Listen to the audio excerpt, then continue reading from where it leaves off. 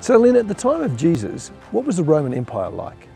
Well, the empire was uh, huge. It, it, covered almost uh, around the Mediterranean. Um, it was powerful, very powerful. It was impressive. The army was impressive, and they built a lot of roads to manage the troops. Uh, there's a lot of trade. Um, all of that can sound positive. Uh, there was a single language that was spoken, a single coinage. Um, all of that facilitated travel and people going lots of places, kind of like today in the modern West, people traveled a lot. They didn't just stay in, in one town. All of that, I think, helped the gospel spread. But there was a downside also.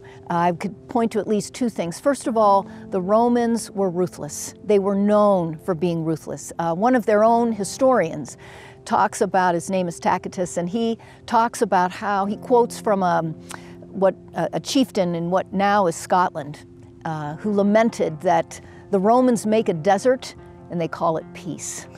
And uh, so they devastated uh, the land, and people, people knew that. So they, they were a frightening force, not really a force for peace in the way that we think of it. And then, secondly, the culture was highly stratified. So everyone had their own little ladder, rung of the ladder.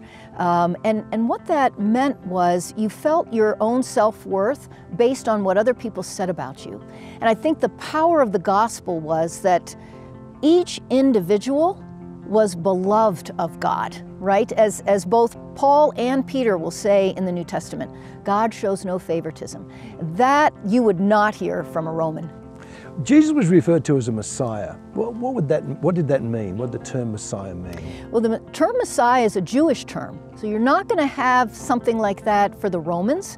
Um, it's it means the Lord's anointed.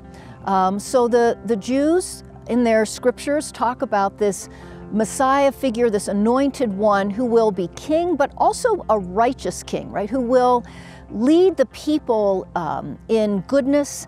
Uh, the Jews in Jesus' day also thought that maybe the Messiah would overthrow Rome and kick Rome out, or that the Messiah would go into the temple and purify it.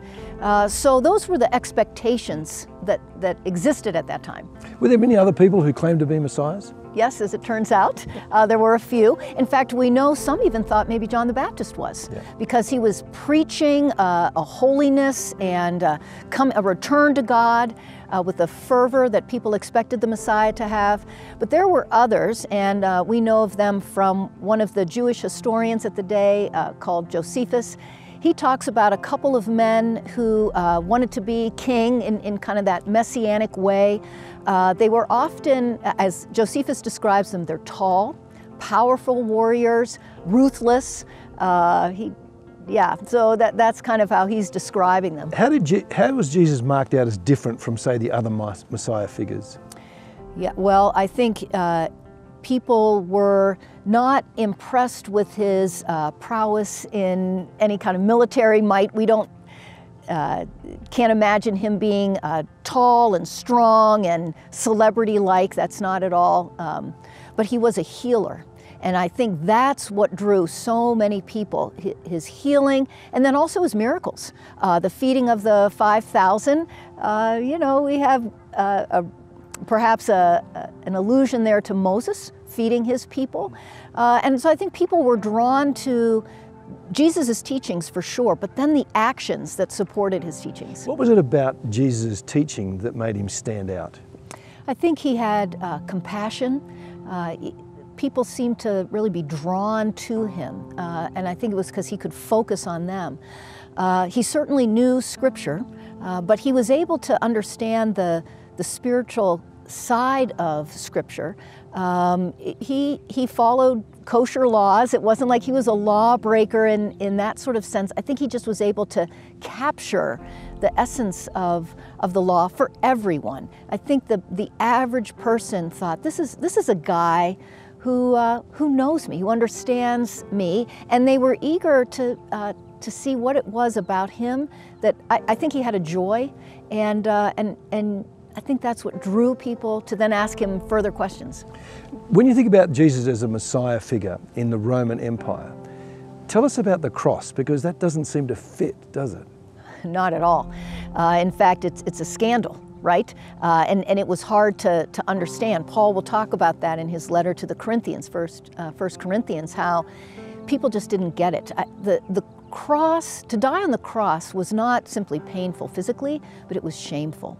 And in the culture of the day, shame was to be avoided at, at as much as you could.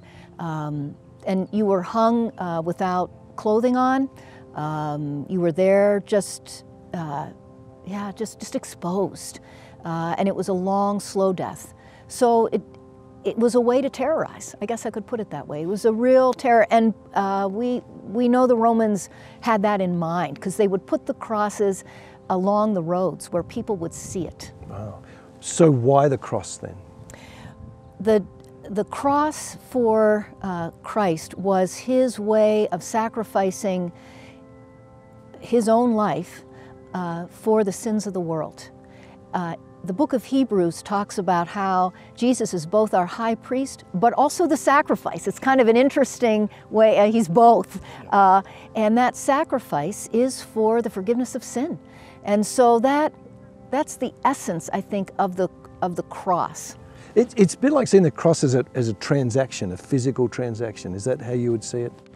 Well, I think that it, uh, it certainly is talked about as that by which God forgives our sins. Um, that we have redemption, the forgiveness of sins. This would be in Ephesians chapter 1. So, yes, I think there is, there is that. However, I think Jesus, in his um, call to the disciples to take up their cross and follow after him. And this is, of course, before he dies on the cross. I mean, it, it, it's kind of interesting. I wonder exactly how they would have understood that, because yeah. uh, we see it in hindsight now. Um, but I think what he was, uh, was getting at there is the nature of discipleship is one of self-sacrifice, one of service of others, um, and obviously service then to God. And it wasn't just the death, but obviously the resurrection. Absolutely, yes. The, the death is that atonement piece, um, but it's nothing without the resurrection. It's the resurrection that validates that God has in fact accepted uh, this sacrifice. And so Paul will say again to the Corinthians, this is at the end of the letter, you know, that if if Jesus is not raised, then we're still in our sins. And and we're pitiful, you know, because we're believing a lie. Today in a modern era, we kind of think, oh gosh, who could believe a resurrection? But it wasn't easy to believe then either, was it? No, it wasn't. Uh, most people thought that uh, they, they continued in some way after death, um, but it was terrifying to think about. They didn't have any assurance. Some of the philosophers thought that their soul would reanimate or would continue in some particular way, but not the body. Uh, the, bod the bodily resurrection, though, for Paul is so important because it does confirm that our sins are forgiven, but it also speaks to the new heavens and the new earth, right? That God will make all things new, that God as the creator God is not defeated by sin. Yeah. Following the resurrection, a relatively small group of people became very animated about Jesus. What changed?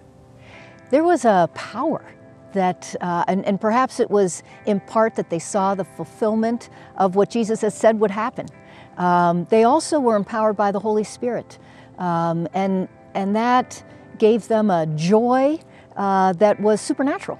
Uh, and I think both men and women uh, had this uh, sense that th there was a purpose, right? And that the, the Lord was busy fulfilling the promises. It, does it surprise you that the church continues to do mission? I mean, here we are, 2,000 years later, we're sitting in Denver, we're talking about the mission of Jesus, and it's still happening and it's never stopped. Does that surprise you?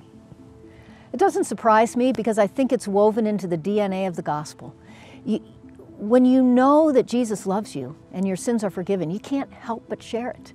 And so whether that means that you go to a, another country or you learn another language uh, or you're just talking to your neighbor over the fence in the backyard, uh, there's something compelling about the story that makes you want to share it.